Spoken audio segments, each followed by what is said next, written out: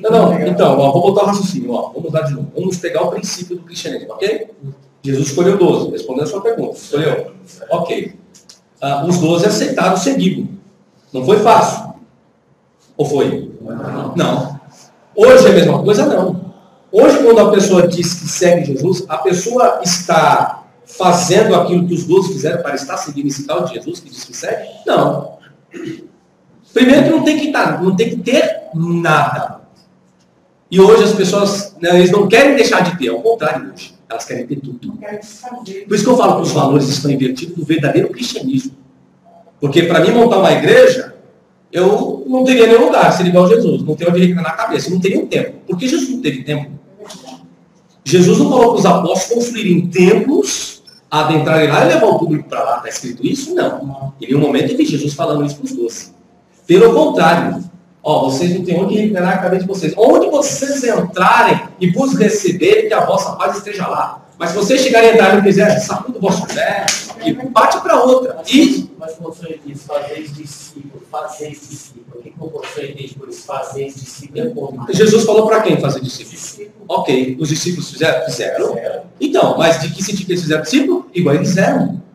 Igual eles eram.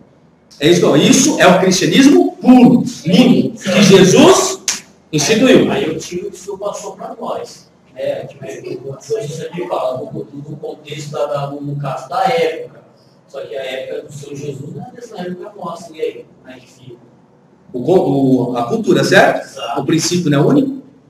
Tem que ser. Se eu tenho que seguir Jesus, eu tenho que seguir de que forma? Não é da forma que ele exigiu? Vamos lá. Tinha dinheiro no tempo de Jesus? Tinha, Tinha potência? Tinha? Hoje não tem?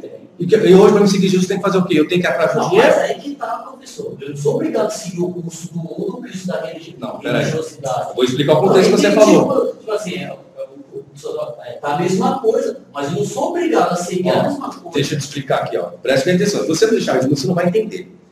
Jesus falou para os discípulos ir atrás de dinheiro. Então que raio tem que estar hoje na igreja atrás de dinheiro? Eu não sou obrigado a seguir o curso. É isso que eu estou falando, é onde está errado. Outra coisa, Jesus mandou alguém construir tempo? Claro que O que, que você está fazendo lá dentro então?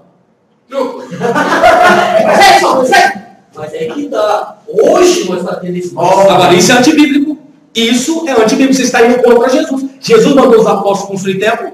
Claro. E o que, que vocês estão fazendo lá dentro hoje então?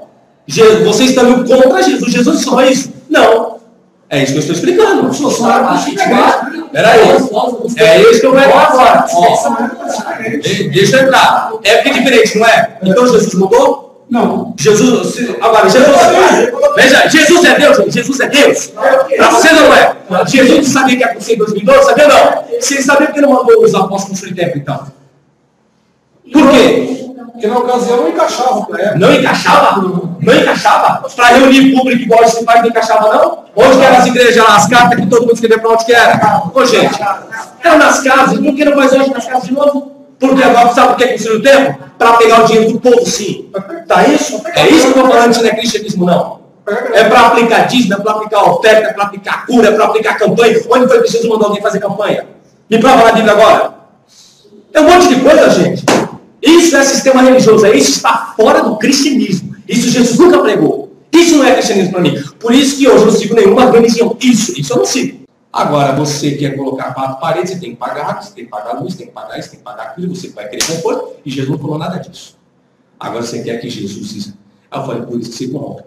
A partir do momento que você entrou, entrou dinheiro, isso é antibíblico. Escuta o que eu estou dizendo antibíblico. Jesus nunca falou para ninguém fazer isso. Está todo mundo fazendo. E depois que a bênção é de Deus. Eu estou fora disso. Vediam o quê?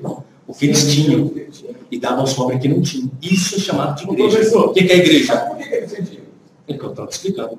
Para ajudar aqueles que não tinham. O que é a igreja? É ver o que é comum a todos. Acabou. Você acha que naquela época, igual, por que aconteceu? Que tinha gente correndo de fome.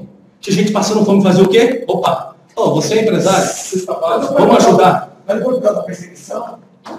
Não, sim, também, tem perseguição, mas tinha tempo. É isso que eu estou falando, gente. É isso que eu estou falando. Igreja é isso, igreja não precisa de parede. Igreja você vê o que é como igual. Nós estamos aqui, não estamos? Eu não conheço a vida particular de cada um. Eu não sei a necessidade de cada um. e ninguém sabe a minha. Eu sabe. É, Deus só, só que Deus não pode fazer. Só que Deus não sabe fazer. O que, que era? Era a comunicação. Por quê? Você acha que Deus moveu o coração? Ó, gente, Deus me revelou fulano com esse não.